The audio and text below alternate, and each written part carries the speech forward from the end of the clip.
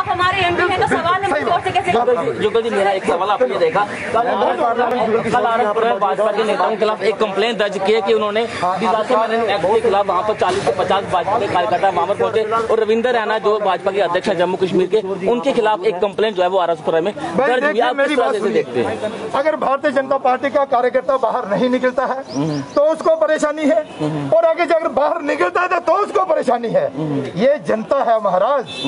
ये अपने अपने हिसाब से जो जिसको फिट बैठता है, वैसे ही बात करता है। लेकिन हमारे अध्यक्ष जी या पूर्व मंत्री या वहाँ के जो कार्यकर्ता थे, वो भी जायजा लेने गए थे। अपने कार्यकर्ताओं, सेवा ही संगठन के नाते कार्यकर्ता किस तरह से कोविड पेशेंट की मदद कर रहे हैं? कहाँ कहाँ दवाइयाँ पहुँच रही है? कहाँ कहाँ लोगों की मदद की जा रही है? लोगों को वैक्सीन हो रही है या नहीं हो रही है? और उन्होंने लॉकडाउन का पालन करते हुए ही सारे कार्य किए हैं। अगर किसी को लगता है कि नहीं, इन्होंने अच्छा नहीं किया उन्होंने अपना काम किया। हमें उससे कोई दुविधा या परेशानी नहीं है। भारतीय जनता पार्टी का एक एक कार्यकर्ता जो है, वो काम कर रहा है, वह काम करता रहेगा। और हम चाहते हैं कि इसमें राजनीति नहीं आनी चाहिए। हम सब राजनीतिक लोगों को इकट्ठा होकर, जैसे हमारे सोशल ऑर्गेनाइजेशन काम कर रही है, ऐसे काम करना चाहिए। जब इलेक्शन आएगी, राजनीति करेंगे।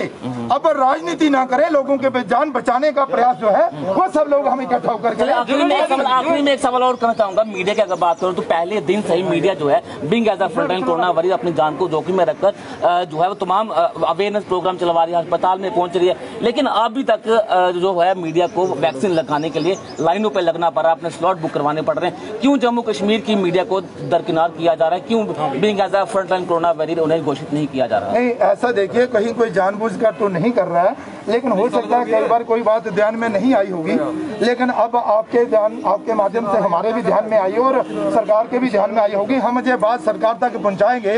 ये जो मीडिया पर्सन है, ये हम सबकी बात लोगों तक पहुँचाते हैं और इनको वैक्सीन प्रयारिटी में लगनी चाहिए इसमें कोई दो राय लेकिन टुल्लू जी का एक बयान आया है कि मीडिया को भी आम जनता की तरह ही प्राथमिकता नहीं नहीं। नहीं मुझे लगता है कि ये जो वॉलेंटियर्स है ये जो कोरोना वॉरियर्स है मीडिया को भी उसी श्रेणी में लेना चाहिए। देश के राज्यों ने मैं भी कह, रहा हूँ भैया वो मीडिया को भी उसी श्रेणी में लेना चाहिए कोरोना वॉरियर्स के श्रेणी में लेना चाहिए और प्रायोरिटी में वैक्सीन जो आप है वो इनिशिएटिव लेंगे कि मीडिया को बिल्कुल मैं पूरा इनिशिएटिव लूँगा और आपकी बात ऊपर तक पहुंचाऊँगा कि भाई आप लोगों को प्रायोरिटी में जो है वो वैक्सीन लगे क्योंकि आपको तरह तरह के लोगों के बीच हॉस्पिटल में भी जाना है और बाज़ार में भी जाना है और इंटरव्यूज़ भी लेने हैं। बहुत काम करना पड़ता है आपको इसमें कोई दो नहीं। और आपका बहुत बड़ा सहयोग जो है इस समाज को मिल रहा है। तो इसलिए आपको वैक्सीन जो है वो लगे और प्रायोरिटी में लगे ऐसा मेरा मानना है। और मैं ये बात ऊपर भी रखूँ। जी बाबू शुक्रिया बातचीत मौतों का जो करने के लिए है, वो कम नहीं हो रहा है क्या लगता है? आपने अलग अलग अस्पतालों का भी दौरा किया क्या लगता है कहाँ कमी रह गई?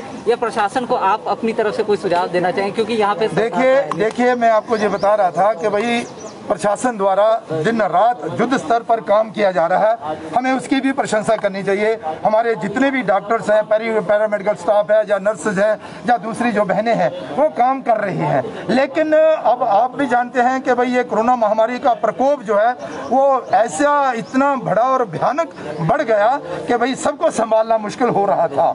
लेकिन अब जैसे जैसे समय बीत रहा है, और सुविधाएँ भी जो है, वो बढ़ रही हैं, और 125 के करीब बेड जो है वहाँ भी हमने बड़े हैं। अब 25 तारीख को आप सब जानते हैं कि डीआरडीओ द्वारा 500 बेड का हॉस्पिटल कोविड हॉस्पिटल जो है वो निर्मित किया जा रहा है और 25 तारीख को वो हॉस्पिटल जो है वो चालू हो जाएगा और उसमें उसके बाद मुझे लगता है कि ये जो आपकी शिकायत है कहीं से शिकायत नहीं आएगी और पूरी सुविधाएँ जो है किशोर जी जहाँ पर 70 से 80 पेशेंट को अटेंड करने के लिए सिर्फ़ मात्र दो नर्सें हैं आखिरकार नर्सिस का स्टाफ क्यों नहीं बढ़ाया जा रहा? ऐसा है कि आपकी अगर बात मान ली जाए तो इसमें कोई दो नहीं है कि बड़ी परेशानी होगी और परेशानी का सामना करना पड़ता है।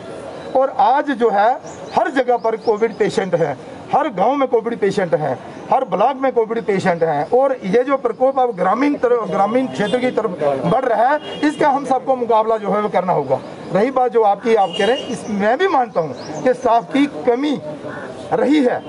जो कि जिसका शायद नुकसान भी हुआ होगा। लेकिन, अब हम जानते हैं सारे कि भाई ड्यूटी प्रशासन एल जी मनोज सिन्हा जी द्वारा जो निर्देश दिए गए, उसके आधार पर हर मेडिकल कॉलेज के प्रिंसिपल ने ये जो डॉक्टर्स हैं एमडी डॉक्टर्स हैं जिनके वो अभी नौकरी नहीं लगी है चाहे वो पैरामेडिकल स्टाफ के हैं नर्सेज हैं, या दूसरे लेबोरेटरी असिस्टेंट हैं, सबके इंटरव्यूज़ हुए हैं और आज, कल, दो चार दिन में उन्हें जो है वो काम पर बुला लिया जाएगा और जो कमी पेशी है उसे दूर किया जाएगा। जुगल जी, एक आखिरी सवाल आपसे और वो बहुत महत्वपूर्ण सवाल है कि देखिए, जहाँ पर आपने कहा कि आदरणीय प्रधानमंत्री नरेंद्र मोदी जी ने कहा था कि मीडिया वाले